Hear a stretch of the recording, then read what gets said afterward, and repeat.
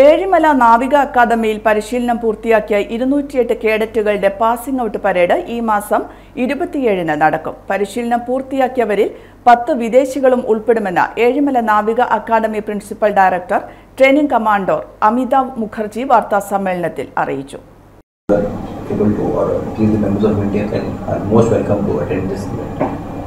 this. Is like any qualification which would happen in uh, other engineering colleges. The BTEC degree is handed over, and we always have. Last time we had Dr. Tesh Thomas uh, from DRDO. She was here. This time we are having the director of IIT Madras, who will be giving the awarding the uh, bachelor's degrees. So this is the main activity we see on Saturday, next Saturday, passing out parade, which will uh, again we will request members of media. All the arrangements will be made by us for those who wish.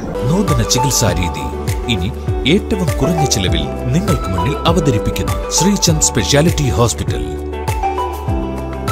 Sreechand speciality hospital S N പാർക്കിന് സമീപം കണ്ണൂർ. കണ്ണൂരിനൊപ്പം ആരോഗ്യത്തിനൊപ്പം.